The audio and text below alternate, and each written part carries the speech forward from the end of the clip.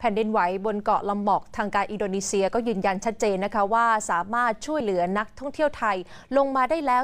216 คน และไม่มีคนไทยติดค้างอยู่บนภูเขาไฟรินจานีค่ะ วันนี้นักท่องเที่ยวไทย 64 คนจะเดินทางกลับถึงประเทศไทย คุณออนซินีอมรมลีรายงานสดจากสนามบินดอนเมืองค่ะ คุณออนซินีคะ คุณนันทินีคะกว่าที่นักท่องเที่ยวไทยทั้ง 64 คนจะเดินทางออกจากเกาะลำบอกถึงกรุงเทพนะคะ ต้องใช้เวลาไม่ต่ำกว่า 7-8 ชั่วโมงค่ะ ถ้าไม่มีอะไรเปลี่ยนแปลงค่ะ ภายในเที่ยงคืนนี้คาดว่านักท่องเที่ยวชุดนี้ทั้งหมดจะเดินทางถึงสนามบินดอนเมืองนะคะ และล่าสุดค่ะมีนักท่องเที่ยว 23 คนเดินทางถึงกรุงเทพเรียบร้อยแล้วค่ะ นักท่องเที่ยวไทยอีกคณะที่เดินทางมาจากประเทศอินโดนีเซีย โดยสายการบินและเที่ยวบินที่ AK 888 สายการบินแอร์เอเชียเพิ่งถึงสนามบินดอนเมืองเมื่อเวลาประมาณ 20 นาฬิกาที่ผ่านมานี่เองค่ะ ทั้ง 23 คนนี้เป็นส่วนหนึ่งในกลุ่มนักท่องเที่ยวไทย 216 คน ที่ประสบเหตุจากเหตุแผ่นดินไหวที่เกาะลอมบอก และเอาชีวิตรอดจากการติดอยู่บนภูเขาไฟรินจานีอินโดนีเซียค่ะ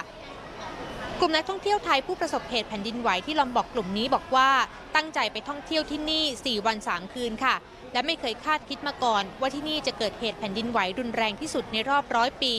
ประสบการณ์ครั้งนี้จึงสอนให้เอาตัวรอดได้ด้วยสติค่ะไอ้ที่เราที่มันไม่ได้คาดอะเนาะเราถามว่าประสบการณ์ เราก็ไม่ได้คาดคิดนะคะว่ามันจะเกิดเรื่องแบบนี้ อืมเพราะว่าเราก็อ่า ทำการบ้านมาพอสมควรว่า อย่างที่บอกว่าร้อยปีมาแล้วมันไม่เคยไม่เคยมีแผ่นดินไหวไม่เคยมีอะไร แล้วอยู่วันเนี้ยเกิดขึ้นมา ฉะนั้นถ้าถามว่าเราเตรียมตัวกันอย่างไรเราก็ไม่ได้เตรียมตัวว่าเพียงแต่ว่าอ่าณเหตุการณ์ตอนนั้นที่มันแผ่นดินไหวเนี่ยทุกคนต้องตั้งสติอย่างเดียวเลย แล้วก็ฟังไกด์นะคะฟังฟังคำสั่งของ เอเย่นไกด์ทางนู้น กลับมาบ้านเราก็โล่งใจแล้วครับ ก็ถือว่าเป็นประสบการณ์ครั้งหนึ่งที่ว่าไปไปแล้วมันไปเจอเหตุการณ์นั้นพอดี แล้วก็โชคดีที่เราไม่ได้เราอยู่เฉียดฉิวเหตุการณ์แต่ว่าไม่ได้ไม่ได้ถึงกับอยู่เป็นผู้ประสบภัยนะครับก็ถือว่าโชคดีแล้วก็เป็นประสบการณ์ที่มีค่า เจ้าหน้าที่ท่าอากาศยานดอนเมืองแจ้งนะคะว่าในเวลาประมาณ 23 นาฬิกา 30 นาที นักท่องเที่ยวไทยที่ประสบเหตุแผ่นดินไหวกลุ่มใหญ่ที่สุดในวันนี้คือ 29 คน จะถึงท่าอากาศยานดอนเมืองค่ะ ส่วนที่เหลือและยังอยู่ที่อินโดนีเซียจะเดินทางกลับกับคณะทัวร์และสายการบินที่จองไว้แล้วก่อนหน้าค่ะ